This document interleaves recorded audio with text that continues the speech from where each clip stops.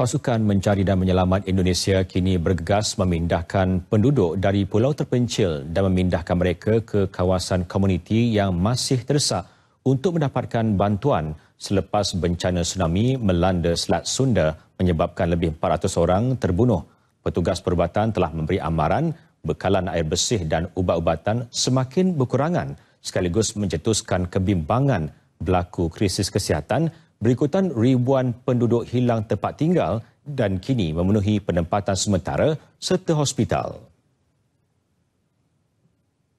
Kita tetap menunggu data antemortem atau laporan dari masyarakat. Kemudian dari situ kita coba publikasikan masyarakat agar hadir ke sini. Kemudian kita buka posko, mereka diperkenankan melihat foto-foto identifikasi kita dari foto itu untuk mengenali.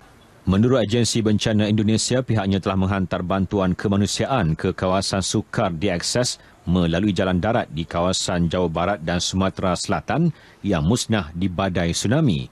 Difahamkan, ratusan penduduk masih terkandas di pulau-pulau kecil di Selat Sunda yang memisahkan Pulau Jawa dan Sumatera.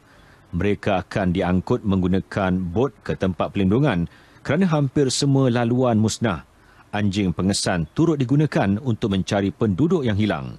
Waris terselamat pula dilihat berkumpul di pusat pengecaman mangsa dengan penuh harapan ada anggota keluarga yang hilang ditemukan selamat. Kalau memang merasa laporannya banyak, jadi laporan banyak. Satu korban itu yang lapor bisa 3, 4, bisa 6 orang. Jadi yang melapor lebih daripada jumlah korban. Banyak itu. Tsunami yang melanda Pandeglang dan Banten pada Sabtu lalu setakat ini menyebabkan 430 orang terbunuh, 1,495 orang cedera dan 159 orang masih hilang. Bagaimanapun, menurut jurucakap Agensi Bencana Nasional Sutopo Purwo Nugroho dalam sidang media hari ini, angka itu diramal terus meningkat.